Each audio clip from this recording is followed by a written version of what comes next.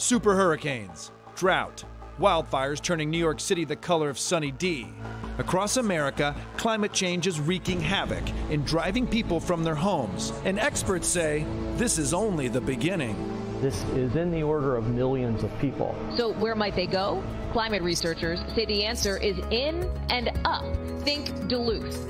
Wow, so millions of coastal elites like myself will one day be flocking to Minnesota? Is this the city of the future? Let's find out. Am I moving?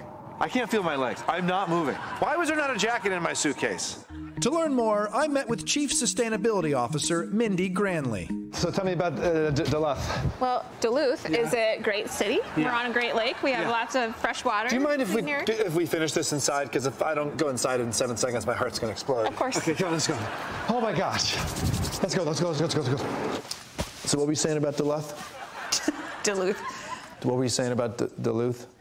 Well, experts have called Duluth a climate refuge because we're a place that's fairly safe from the worst effects of climate change. You're talking about in 50 years when this climate change thing like really gets bad, right? A few people are moving here now from California um, because of climate change. So you're telling me people are moving here from the good states? Yes. Mindy claims Duluth has big advantages, like 10% of the world's drinking water in Lake Superior and room for up to 10,000 new residents, because it's basically that barren ice planet from Star Wars. Some people can handle 80 inches of snow every winter and 80 inches of snow? Over 80. Yeah. Jesus Christ. Do you think those big UN climate change summits would be more effective if people knew that the alternative was having to move to Duluth? Well, there's really no bad weather, there's just bad clothing. Bad clothing. So people are still wearing Balenciaga here. We don't know what that is. Despite this vast cultural divide, coastal refugees are getting ready to flood Duluth. But are the locals prepared? There's a migrant caravan of Californians coming. They're bringing their spin instructors, their kombucha makers, their oat milk. You ready for that? I don't mind having a few more friends. Any advice for you know refugees that are coming here? Oh, sure. You need to dress really warm. They can't dress warmly because then they would lose their job as Instagram models. Well, it's going to be hard to be a bikini model here. I mean, you're laughing, but this is important to my culture. Your culture. It felt like we were speaking two different languages, but how deep was this divide? Polo or rugby? Rugby, for Why? sure. Why?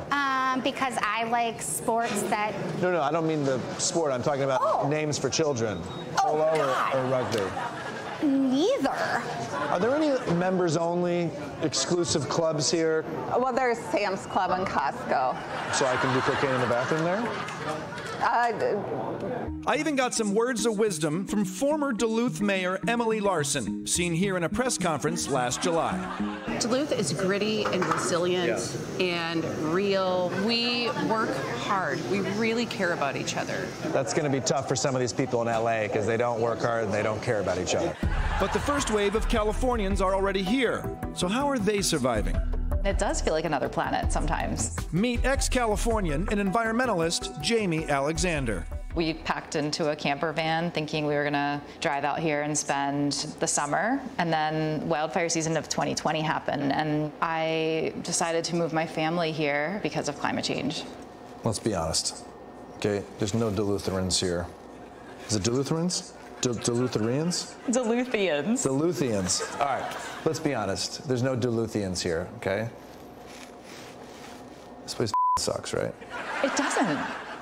I love it here. I want to live in a place where it feels real. People say that D- Dulutherans, du- Dulags, are more real people. A New Yorker spits in my face, it feels pretty real.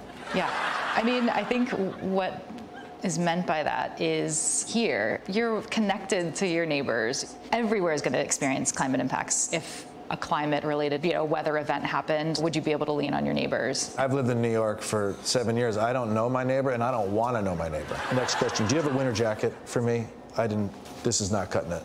And my BMI is like under 2%. You know what I'm saying? Jamie told me to really understand Duluthians, I would have to walk a mile in their shoes, even if mine were nicer. These boots are Louis. I'm not going to get snow on them, am I? you probably will. You ready to do it? I'm ready. Let's go. Yeah. Ah, shoot. Ah. They're kind of hard to walk in at first. Ah. Okay, there goes my suit. Hey, those look like huge, almost rats. They're deer. Do they ever take the pizza out of your hand when you're in the subway or anything? No. No. Hmm, that's, you're lucky. Duluth was starting to grow on me, but there was just one problem.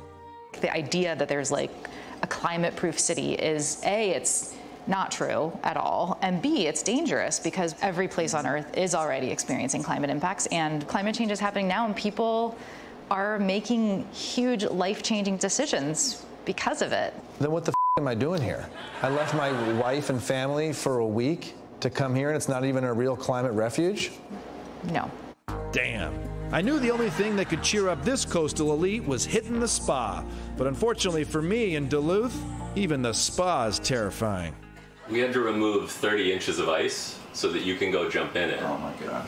I'm gonna die. And your body is gonna tell you you're gonna die. Yeah. But you're retraining some of those neural pathways in your head to say, hey, I can handle hard stuff. Yeah, I can handle this. Going in. Maybe once I get used to it, the cold isn't so bad. I'm frozen to the to the thing. Well, at least I can go back to New York. Ah, oh, God damn it, that's my car!